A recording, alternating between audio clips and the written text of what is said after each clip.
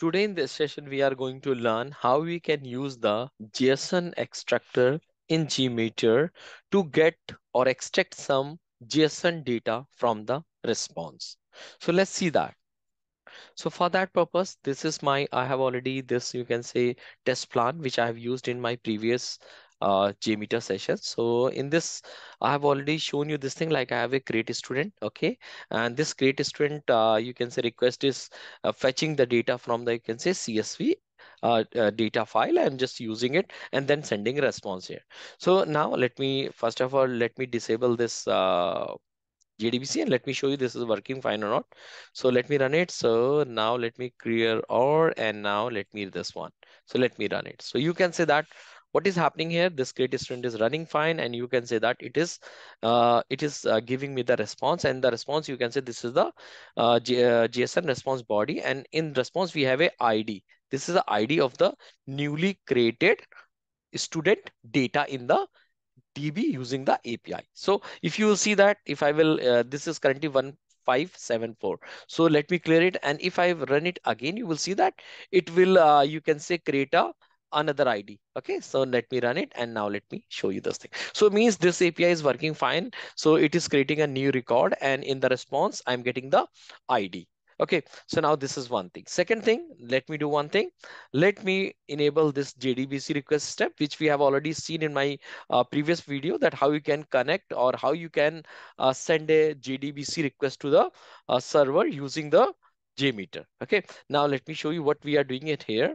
So for the timing, let me disable this one. Let me disable this one. Okay, in the JC, JDBC request, you can see that currently I'm using the, I'm just trying to uh, trigger a query select star from student where id code 4 here 4 is a hard coded value okay i'm just uh, just uh, sending a request here so now let me go here and again let me clear the data here and let me send and see that what we are getting here. So you can say that it is just uh, hitting the JDBC request and we are getting the data of the ID4 here. Now you can see here. Okay. But now what we want to achieve here, what we want to achieve here, we want to achieve here that let me first enable it. We want to do one thing like we will hit the create student API. Okay.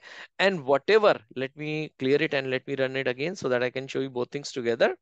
So you can see here either here in my JMeter, I first hit the create student API and then in response I got the ID here. Now I want to use this ID. I want to extract this ID from the response of create student and then want to use in my JDBC request this part. So this ID equal to it should be dynamic here. So it should get from the response of the any other previous request. So how we can do it that we are going to learn it with the help of JSON extractor. Okay. So now let me clear it. Okay, so now what we are going to do, let me do one thing. Okay, let me do one thing. Okay, let me hit one more time so that we can see the structure. Okay, so in the create student uh, response, I will go to the response. So this is my, you can say response data. Okay, so how I can extract this ID from the response? For that purpose, I will do one thing. In my create student, I'm going to add one more new component that is called post processor in the post processor, we will go for the JSON extractor. We will go for the JSON extractor and in the JSON extractor, what it will do, it actually it actually applies on the res uh, response of this request. So here you can uh, fetch any uh, JSON data from the response. So first of all, I will create a variable here, new ID okay? New id i'm just creating a variable. You can create any variable here. Okay? So what is the purpose of this variable? Whenever i extract some data from the response like from the create student response uh, this is the response. In the response i'm trying to fetch the this id this dynamic id 157 uh, 1577 so how you can extract i need to write a uh, uh, you can say uh, extractor for that. Okay, so how we can write the extractor? We write the extract JSON path expression in this field. So how we can do it? Let me show you. It is start from hash. Then we write hash, oh sorry, dollar dot. And after dollar, you have to follow the same hierarchy. Like in this JSON, let me copy this JSON separately in a edit plus so that I can show you. So let me do it. Okay this one and here you can say let me make a wrap here and now you can say what is the structure let me uh clearly show you the structure this this there is a result tag and under result uh, we have a you can say message something like that message. And uh, then we have message and we have two uh, you can say fields. One is message and one is id here. So now let me show you properly here. So this is the you can say uh, this is the proper you can say structure. So in this why i've shown the json structure in such way? So you can understand the hierarchy.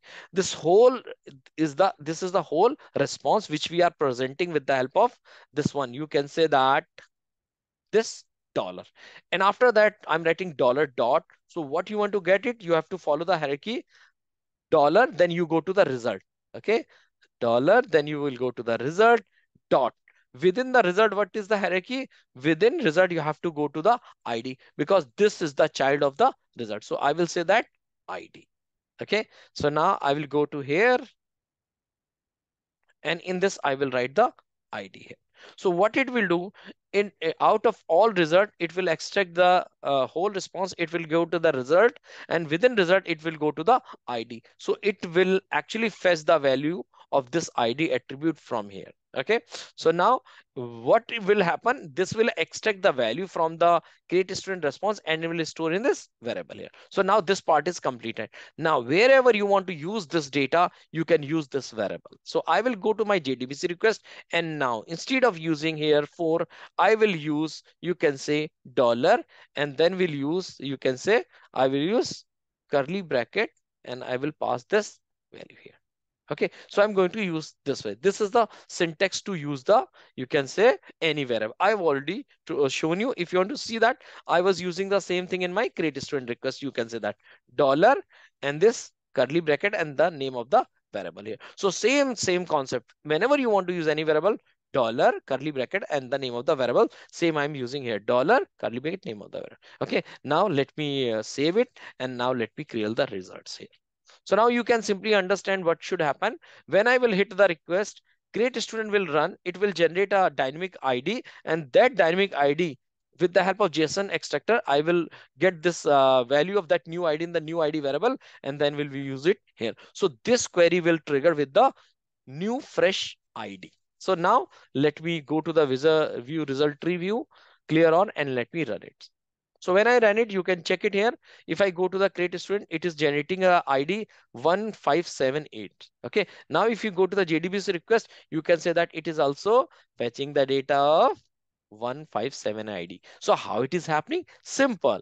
What is happening? Simple. When this create student is running, from the response, this JSON extractor is actually fetching this particular value.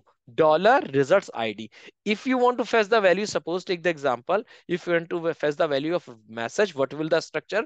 Dollar. Dollar means you are talking about the whole json then dot results and within dot results you want to fetch this you can say this object message. So it will return the matches for you okay so i hope you got it that how you can extract the value from the you can say any json response you have okay and then you can utilize it anywhere in your response Okay. If you have any question, you can put in the comment of this video. And if you like the video, you can uh, click on the like button.